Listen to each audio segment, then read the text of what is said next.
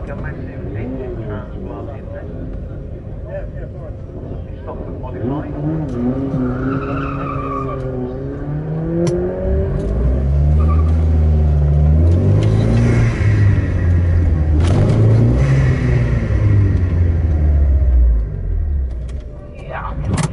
right? It's, not, period perfect. It's a, it's a Burton 1700 crossflow stage 3 head on it, twin 40 lights,